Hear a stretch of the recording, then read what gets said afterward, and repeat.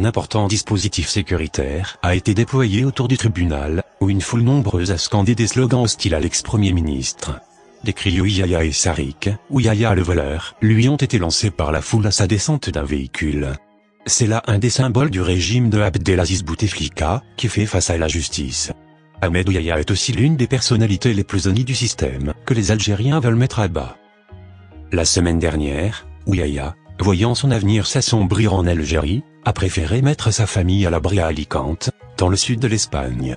Cette convocation de l'ex-premier ministre intervient au lendemain de celle de l'ancien gouverneur de la Banque d'Algérie, et actuel ministre des Finances, Mohamed Loukal, sous le coup de chef d'inculpation similaire. Plusieurs oligarques proches du clan Bouteflika et des sécuritaires croupissent actuellement en prison, dans le cadre d'une série d'enquêtes liées à la corruption et à de fausses déclarations en matière de transfert de capitaux et d'importation de biens.